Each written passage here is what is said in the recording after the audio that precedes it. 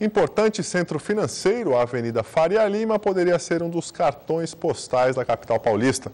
Mas problemas de infraestrutura comprometem a paisagem urbana da região e a mobilidade de quem circula diariamente por ali.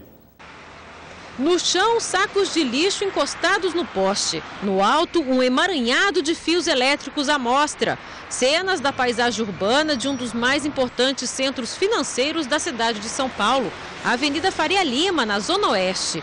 Para o motorista, o aviso improvisado, cuidado, serve de alerta para os buracos na pista, as ondulações.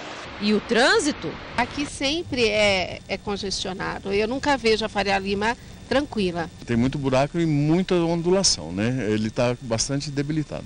Uhum. Tá sim. E aí isso dá problema para o carro? Ah, sem dúvida. E o desconforto que o passageiro sente também, né? Para o pedestre, a situação não é diferente. A calçada tem verdadeiras armadilhas, como este bueiro com a tampa solta. Os buracos também são obstáculos. Andar com malas ou de carrinho é um desafio. Como é que é andar de mala aqui na Faria Lima?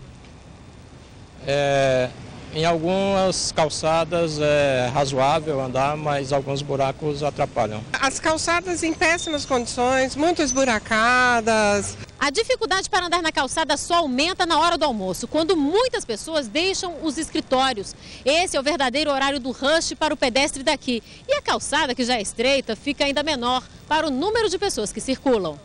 A gente, na verdade, quando vai almoçar, prefere pela rua de baixo. Sempre a gente vai. Hoje eu, a gente veio por aqui porque eu vou passar no banco. O problema é que tem banca de CD, DVD pirata e isso sim atrapalha na Faria Lima, não condiz com a região. Sem espaço conveniente para transitar, a ciclista elegeu o canteiro central. Se eu andar na pista, esse trecho da Faria Lima é muito perigoso. Tenho amigos vários que já sofreram acidente, então é perigoso.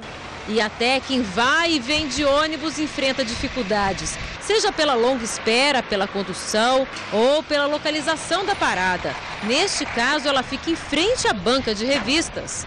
Atrapalha a visão? Atrapalha, com certeza. Você tem que estar assim, né? Nos horários de pico, como no início da noite, não há espaço na parada para acomodar tanta gente. E todos sofrem com a iluminação deficiente. Aqui o poste está acima da copa da árvore, o que obstrui a passagem da luz. Um aspecto positivo citado pelos frequentadores da região foi a abertura de duas novas estações do metrô, a Pinheiros e a Faria Lima.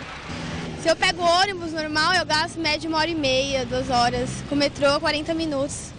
Apesar das melhorias no transporte público, os problemas da fiação e das calçadas se repetem por aqui.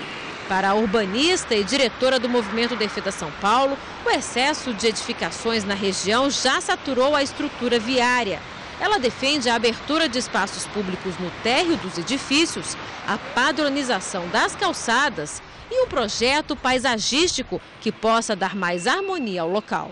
É que esse excesso de área construída e excesso de geração de viagens, esses edifícios, cada um deles por si só é um polo gerador de tráfego, congestionou de tal forma a região que nós estamos a ponto de inviabilizá-la economicamente.